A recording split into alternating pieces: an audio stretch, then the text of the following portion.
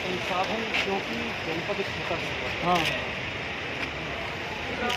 लापरवाही अगर होगी तो आप लोग बता के लोगों को नहीं कि प्रशासन जी और नहीं। कि रात्रि में दिन में भी थोड़ा मास्क लगा कर जिस तरह की तेज़ी से चल रहा है आज एक सौ इक्यावन का तो और एंटीजन में एक सौ एक हैं एंटीजन में जो बड़ा कम निकलता है वो भी एक सौ एक है तो लोगों की भलाई के लिए है। तो बोले जैसे पीछे काफ़ी वो खड़े हो गए वहाँ पे। ठीक तो गाड़ी यहाँ रुकी है प्रशासन की वहाँ खड़े हो जाएँगे। मोटिवेट करिए लोकल लोगों को मोटिवेट करिए हाँ। ठीक है? हैं घूमना पड़ेगा घूमना पड़ेगा। क्या है सर जनपद में एक्टिव मरीजों की संख्या 500 से अधिक होने के कारण प्रदेश सरकार के द्वारा दिए गए आदेशों के क्रम में जनपद में आज से रात्रि 9 बजे से प्रातः 6 बजे तक रात्रि निषेधाज्ञा लागू कर दी गई है। इस दौरान सभी व्यापारिक प्रतिष्ठान बंद रहेंगे।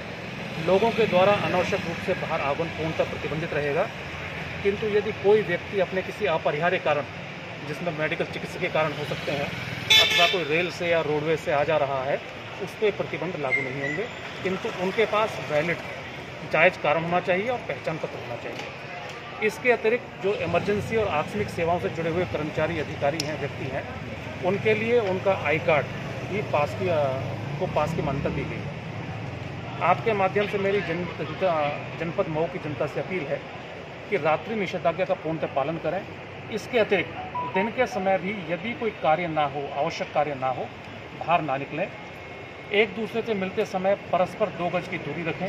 सैनिटाइजेशन, मास्क का प्रयोग अनिवार्य करें। यदि किसी व्यक्ति को सांस लेने में कोई दिक्कत होती है, बुखार, खांसी, जुकाम इत्यादि लक्षण होते हैं तो तत्काल जनपदीय कंट्रोल रूम पर संपर्क करके अपनी जाँच कराना सुनिश्चित करें। जाँच की रिपोर्ट आने तक ऐसे व्यक्ति अपने आप को अपने घर में अन्य सदस्यों और समाज के अन्य लोगों से अलग आइसोलेट कर लें।